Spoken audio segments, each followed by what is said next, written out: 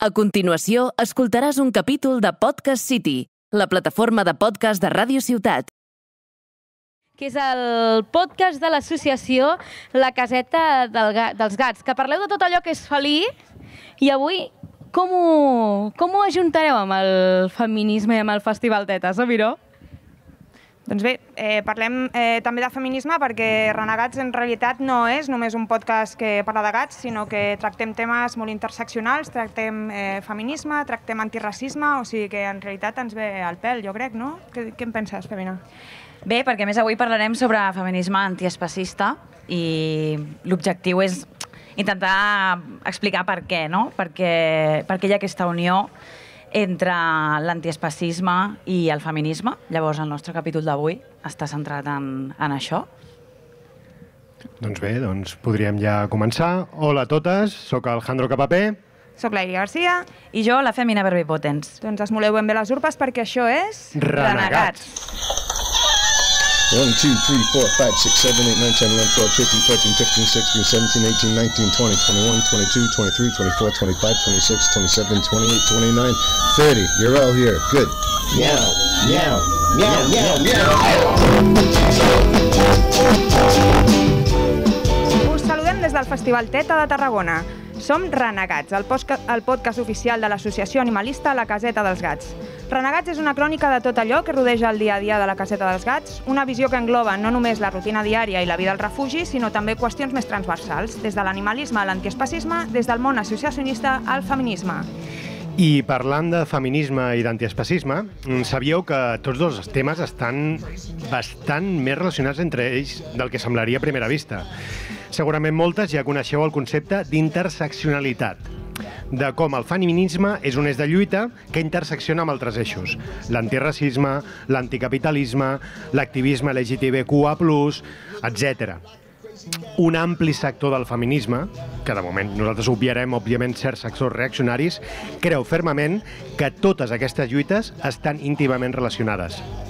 Però hi ha una reivindicació que normalment queda una mica oculta, no? i és la lluita per l'alliberament animal, la lluita antiespacista.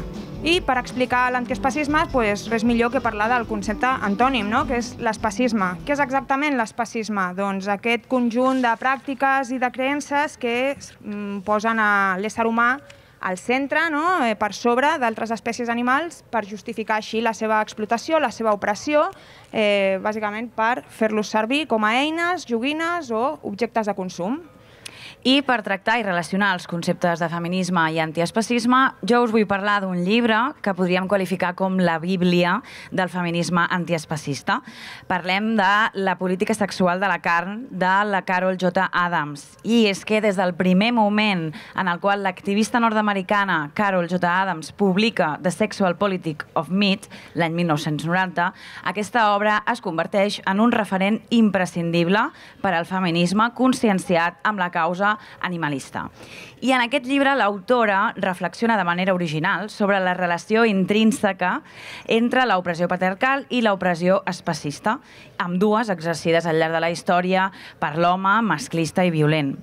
I la proposta de l'Adams identifica la performació social de la masculinitat patriarcal amb el consum de carn i alhora amb l'exercici del poder autoritari vers la comunitat. Per tant, si la carn és el producte del poder i del patriarcat, la verdura seria el sinònim de la feminitat dèbil, l'exclusió i la pobresa. Suposo que el que fa l'obra de la Carol J. Adams, que, que, que fa que, la, que aquesta obra continuï sent una reflexió tan important pel feminisme d'avui en dia, és, com hem parlat abans, la seva visió interseccional.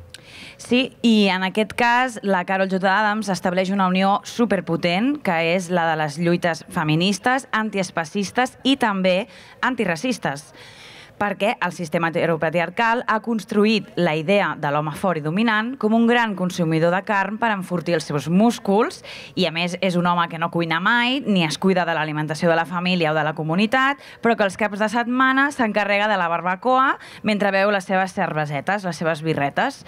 Doncs aquesta idea del macho ideal, blanc i hetero, és la que va promocionar precisament la ideologia racista sorgida al segle XVII i XVIII.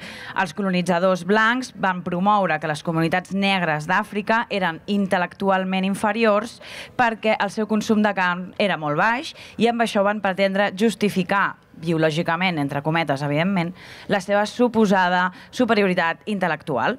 Doncs precisament fa no massa vam assistir a una xerrada que vam tenir a, la Gata Insumisa, el Cat Cafè on, on la caseta dels gats col·labora, eh, molt interessant sobre animalitat i Palestina, no? que semblen dos temes que dius com, ho, com es relaciona això. Doncs es va parlar bastament del colonialisme, en aquest cas del colonialisme sionista, i de la idea de la carn com a símbol de la masculinitat, de l'estatus, de la civilització i el denigrament de la població palestina no només per la seva dieta, sinó per la seva inferioritat tots, a, a, a, tot, a tots els nivells en comparació amb l'avançada nació d'Israel. No? Sí, i entrant en temàtica espacista, antiespacista, podem parlar d'un concepte que l'autora introdueix per tal d'entendre com la societat invisibilitza l'animal usat com a, com a consum, com a producte. I aquest concepte és el que ella anomena referent absent. Aquest referent absent és precisament l'ésser viu que nosaltres anomenem carn o bistec o hamburguesa o embotit i un llarg etc que el que amaga al darrere és l'explotació de la vida d'un animal. Home, doncs ara m'ha vingut al cap un dels tòpics més usats per criticar l'alimentació vegana, que ens hem trobat força sovint, en particular a tots aquells productes que s'usen com a substitutius de la carn o del peix. Eh, I és quan sempre ens diuen estem allà menjant alguna cosa i diuen, ostres, però això que ha de fer aquestes hamburgueses o salxitxes o llets que són plant-based, eh, no, no es poden anomenar ni salxitxa, ni hamburguesa, ni, ni així. Com, com és que Això és una vergonya. Inclús he escoltat gent i tot que diu que intentem, s'intenta falsejar, no? intenta que la gent caigui en, a, a, a les que... Sí, no, en realitat vols menjar carn. Exacte. O que estiguis allà, compris una cosa, me recordo una cosa que es deia mer, merluza, amb B baixa, i deia, no, això, això és per enganyar, perquè la gent compri pensant que és peix i s'ho mengi, com si hagués un pla secret per tornar vegana a la població, no? I, Tant de bo. Clar, és, és curiós com, per una banda, aquesta gent s'apropia molt vigorosament d'aquest terme, però per l'altra eh, empren el, el referent absent aquest referent absent de, de botifarra, de no sé què, de forma constant. Que diguem-ho clar, el referent Exacte, absent per... és dir-li bistec al oh, cadàver que t'estàs menjant, Exacte, o sigui, tu no li dius a la salxitxa carn trinxada de cadàver d'animal que sent i que pateix, no li dius constantment això, li has posat un altre nom per no haver d'enfrontar-te i d'enfrontar-te i de les teves contradiccions. Però si ho fas amb llenties està malament. Exacte. Llavors és com una mina, sembla que projectis com les teves contradiccions a l'altra gent, no? Potser estaríem parlant d'uns real ofendiditos, no?, de l'alimentació. Sí, i continuant amb la temàtica feminista i aquesta interseccionalitat de la que parlem avui, també podem dir que les dones hem estat també el referent absent de la història. I bueno, em venen al cap nombroses dones extraordinàriament brillants que han estat minimitzades o directament eliminades de la història. Doncs no sé, parlàvem l'altre dia de, de Hilma Afklin, parlàvem de Mileva Mavic, parlàvem eh, d'Elsa, deixeu-me assassinar l'alemany, sisplau, Elsa von Freitag Loinghoven, ho he dit bé? Molt bé, molt bé. Gràcies, gràcies. Gràcies a l'únic home que Exacte. avui parla des de l'escenari. Gràcies per aprovar-me. Sí. De res. Bé, com deia, aquesta obra de la Carol J. Adams eh, no és tan sols una reflexió teòrica, sinó que teixeix un recorregut al llarg de la història per tal de poder comprendre com es consolida el vegetarianisme i el veganisme en la relació en relació al discurs dominant. I és així com Adams posa de relleu el protagonisme de les dones en la lluita pels drets dels animals que ja comença al segle XVII. Ostres, ara penso que d'aquesta part podríem treure alguna secció eh, teva de la Femina Verbipotens en propers programes, diguéssim, més a l'ús. Per exemple, que es podria dir, ja poso un títol, la gènesi del moviment animalista. I si pensem, ostres, ara mateix em ve el cap, si pensem com n'és de complicat ser animalista en segons quin entorn, no vull imaginar el que suposaria per una dona que a sobre és activista animalista al segle XVII iniciar, diguéssim, o, o intentar projectar aquestes, aquestes inquietuds i aquestes reivindicacions. Sí, i en aquesta línia històrica eh, l'autor desenvolupa també el concepte polític de la política sexual de la guerra, ja que en la dominació masculina del poder és tan sols sostenible per mitjà de la violència. I en aquest punt l'autor el que fa és referir-se a la lluita pacifista i antiespacista exercida per dones durant la Primera Guerra Mundial, és a dir, 1914-1918, com, per exemple, la conegudíssima obra Les tres guinees, de la Virginia Woolf, o Els menjadors vegetarians, oferts a un cost simbòlic per l'activista feminista anglesa Charlotte Spar al seu negoci. Ah, Charlotte Spart. Doncs he fet un cop d'ull així ràpid a la, Wiki, a la Viquipèdia i déu nhi no? Eh, sufragista, socialista, pacifista, activista del Sinn Féin, novel·lista... Un altre personatge rellevant del qual en sabem ben poc. Que, per cert, i és un tema que potser tractarem en els propers programes, la rellevància que se li dona a la croada animalista és força secundària, fins i tot, diria, pues, en aquests entorns més eh, alternatius, més d'esquerres, no?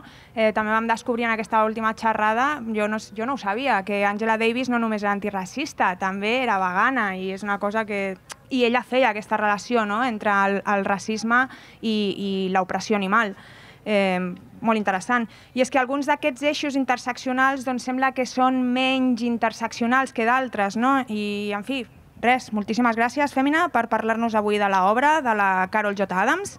Esperem que haguem remogut algunes consciències i bé, no sé si volem fer una petita crida. Sí, bueno, ja en anteriors programes eh, us hem parlat de, de la nostra petita campanya de GoFundMe, Ara mateix. Sabeu que el nostre refugi és molt petitet, és molt humil, podríem dir, totes són voluntàries d'aquest refugi i s'apropa l'estiu, una època bastant complicada per a, per a la caseta, tenim més ingressos, tenim més problemes veterinaris, tenim un munt i això implica moltes més despeses. Per això hem creat un GoFundMe i si aneu a la pàgina gofundme.es, gofundme, gofundme.es, per aquí no sé fer anglès, espero que sigui poca gent. Per favor, eh? Sí, perdoneu. Eh, Classes d'anglès amb Jandro. Exacte, perdoneu. I, escol... I no mireu pot la... parar de la...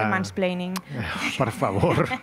No, no, m'ho mereixo, com a mascle cis-hetero. O sigui, Endavant, endavant, és a continua, l'escenari. Doncs això, entreu allà, busqueu la caseta dels gats i trobareu les nostres campanyes, especialment aquesta campanya d'ajudar-nos a ajudar-los, de la caseta dels gats, i home, qualsevol donatiu ens, ens farà molt, molt servei. Bé, doncs bé, avui ja estem a punt d'acabar. Eh, us recordem en aquests últims eh, minuts que aquest temps és per vosaltres, renegats i renegades. Eh, què en penseu del tema d'avui? Eh, teniu alguna història al respecte? Voleu fer-nos alguna pregunta, comentari, crítica, mm, hatear, el que sigui? Eh, doncs ens escriviu a la caseta dels gats arroba gmail.com i recordeu que també ens podeu seguir a les xarxes socials, on ens trobareu a Instagram i Facebook, també com la caseta dels gats.